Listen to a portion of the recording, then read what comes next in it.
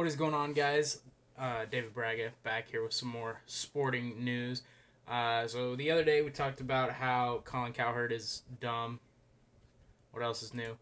Um, and today we are talking about the Chicago Cubs. They made some uh, big moves today at the trade deadline. First one, um, a little bit minor, uh, more minor anyway.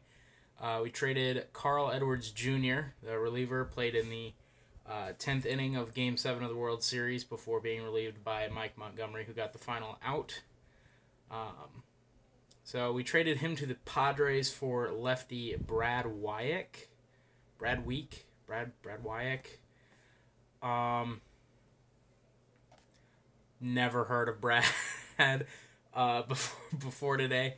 Um, 2017 or 2019, he's played Played in 30 games with an ERA of 6.57.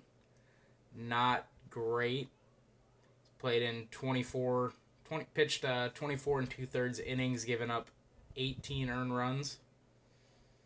Not, not ideal, but needed needed some lefty uh, action in the bullpen. So, and given Edwards' recent struggles, I think this is probably a good trade, swapping one for one. Um, I don't presume there will be any cash or anything uh, else uh, given to either side. I was I was kind of expecting them to uh, to trade Carl.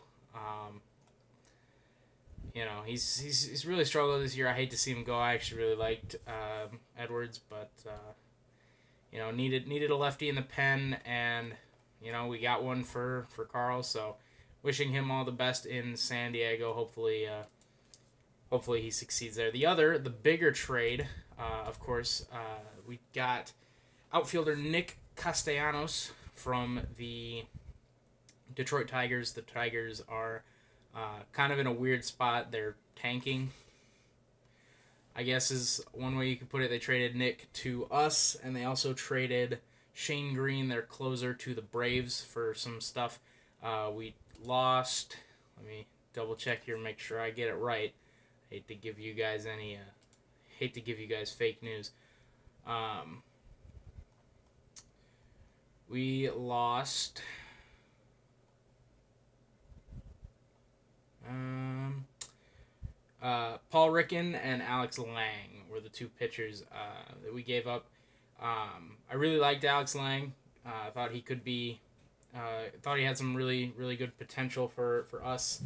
Um, but I really don't mind losing him and Richan. Uh, we've still got Azalea, Marquez, or Alzolay, sorry, Marquez, Miller, Jensen, uh, etc. Still got a lot of young young pitchers to come up through the through the pipeline. So uh, I don't think that's too big of a deal. It's a bat that the Cubs desperately needed. He's batting 273 here uh, on the season. That's right on his career average of 274.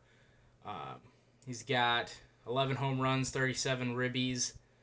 Um, so it's it's an outfield it's outfield depth that the Cubs need to go along with Happ and Almora. I expect um, since we just brought up Happ that Almora might get sent down to open up this room. Um, I would say Happ probably moves to second so Castellanos can play center field, but I don't know. That would be my assumption. So we'd have Happ at second, Castellanos center, Bryant third, Rizzo first, Baez short, uh, Contreras catcher, Hayward in right, Schwarber in left, and then our starting pitcher for our for our batting order. I would I would assume that's what they would do. I think Castellanos could be really good in the in the two spot for us. Um, but yeah, eleven homers, three triples, uh, thirty seven doubles, which is uh, thirty seven doubles, right on pace for. Uh, it's actually going to be probably his best year. He's got he had forty six uh, last year with Detroit. And he's already on thirty seven this year. So. Um, just a consistent hitter at 273. Not necessarily the most power with uh, just 11 home runs. Um, but, you know, it's a bat that the Cubs desperately needed. And it's a good move um, for the Tigers. I think getting some younger pitchers in uh, in through there uh, could, could be good for them. Uh, they still have, uh, what's his name, Boyd, um, as their sort of star pitcher now. So I think it's a, I think it's a good move for both teams. I really like what the Cubs are doing uh, this year. I think Theo and uh, everybody up upper management doing a good job of getting people um, into the Cubs organization. Guys like Kimbrel, um, and now Castellanos, and you know just making making a whole bunch of moves. Uh, you can only blame managing and upper management so far, and I think that Cubs fans have used all of that up so far this year. So at some point, major league players got to play at a major league level. I've been saying that since whenever the Joe Maddon blame started. Um, so hopefully, hopefully the the players figure it out and we can we can win this battle in the NL Central. Super tight race uh, with the Cardinals and Brewers, and I really don't want to lose to the Cardinals and Brewers. So uh, yeah, that's gonna do it for today. Cubs picked up Castellanos and Brad Wieck from the Tigers and Padres respectively.